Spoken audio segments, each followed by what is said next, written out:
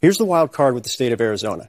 In Maricopa, a lot of the outstanding vote right now is late mail in or late drop off ballots. Monday, Tuesday drop off ballots or mail in. Those have actually leaned more Republican. Those have leaned more Republican. It's a little bit different. Arizona is a much heavier vote by mail state. They know how to do it. They've done it for several cycles. So those have leaned more Republican. And that is why the Trump campaign was so furious when other networks were calling the race for Joe Biden, why they have maintained that they have a pathway here. And they are right. If you look at what's outstanding right now, Maricopa County, only 83% reporting. We expect about 100,000 more votes to come in here that might be a little bit low, a little bit more than that as well. We expect about 17,000, 18,000 more votes to come in here in Pima. This is a Democratic stronghold. You expect this to go a little bit more Biden.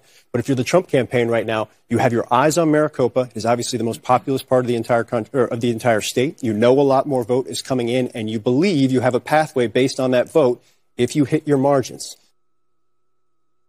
Arizona is over. Even if Donald Trump wins the outstanding vote 51, 52 percent, Joe Biden wins the state of Arizona.